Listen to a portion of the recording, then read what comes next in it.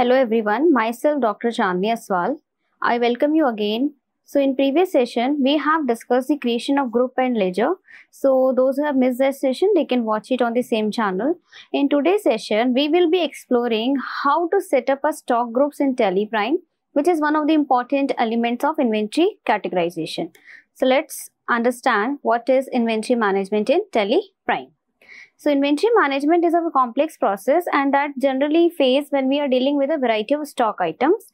So Tally Prime helps us in streamlining this process through the various stock group. So this group allow us to categorize our stock and making it very easier to track, report and also, also assign various pricing. Now under the inventory management, we have various group also. Now that is the stock group. So stock group that is used for the categorization purpose. So this is categorization for the inventory item. So we can group the similar item together and we can create a some structure that can helps in improving the tracking of the stock.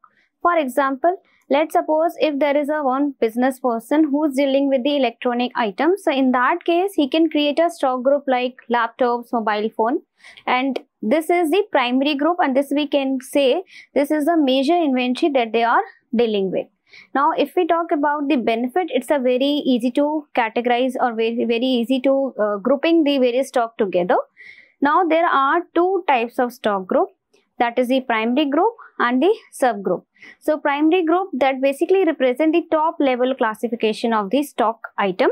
On the other hand, the subgroup which is further used to categorize the items under a parent group. So this primary group we also called it parent group and this subgroup can be created under the primary group.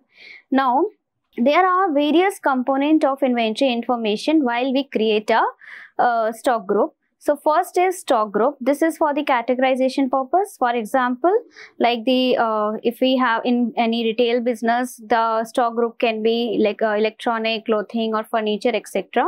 And uh, then we have the stock category so this stock category is basically the similar uh, like we can facilitate the grouping of the various stock then we have a stock item. So this is are the actual product or the raw material that need to be tracked individually.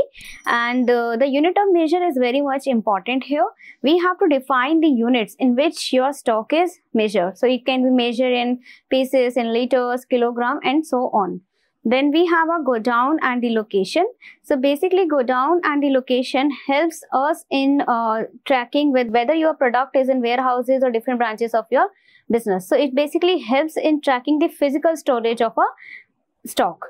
Now, these are the steps we need to follow for creating our stock groups. So we have to go to the category of uh, gateway of Tally and then we have to go to the inventory information. Under the inventory information we have to select the group and then we can create any group. And under the group name we, we can uh, as i already told you this group can be the parent group or we can say it is a primary group. So if there is no other uh, subgroup is there so we can click on the only parent group or the primary group only and then we have to save this information. So in this way we can create a stock group in TallyPrime. Now let's understand how do we create a stock group in TallyPrime. So let me open a Tally software. So here i have created the company with the name of stock.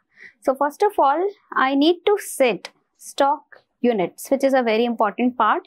If i go to the create option here we can see the stock group creation option is visible under the head inventory master.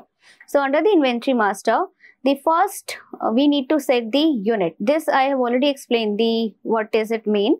So in the unit we have to set whether we are going to measure in pieces units and so on. So let's suppose i want to measure it units. So here i am writing it units formal name it should not be same. So i you can set or you can symbol you can you can use here the that is the u and t. On the other hand here you can write the unit. That can be the one of the option. Then under unit quantity code you can see there are so many units are visible right? So here we can select I have choose unit. So I need to select this unit one. And this you can skip for a time being and I need to save this information if I go back, so in this I have set the unit. The next thing, let's suppose I want to create a stock group. right? So let's say there is a business person who are dealing with the electronic items, right? So under the electronic items, they have dealing with the different types of product let's say a refrigerator let's say mobile phone so if you click on the stock group so first group i want to create that is the refrigerator then um, obviously it should be into the primary group so i need to click on it. Then i need to save this information. Then another group i want to create let's say mobile phone.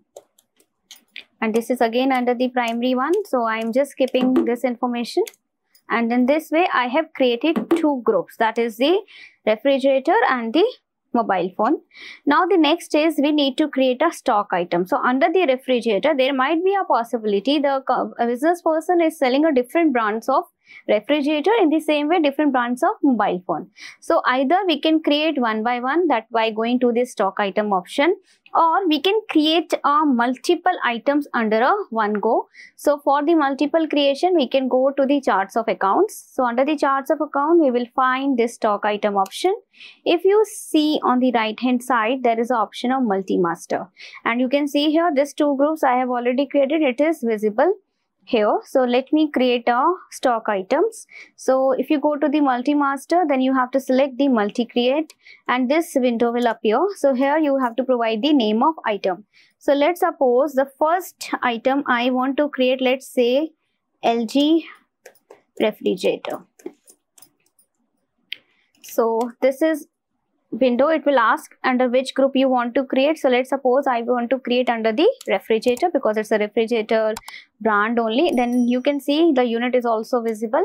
Let's me write some quantity. Let's say 50 and the price is let's say 68000 so you can see here when you press enter the amount is automatically calculated now if you enter let me enter the another uh, say the mobile category item. So let's say i am writing mi mobile phone? So this have to be created under the mobile phone category. Again we have to select the unit. Let's say the quantity is 40 and the price is let's say 35000 so here it is calculated now another if i create one more group let me create let's say uh, apple mobile phone.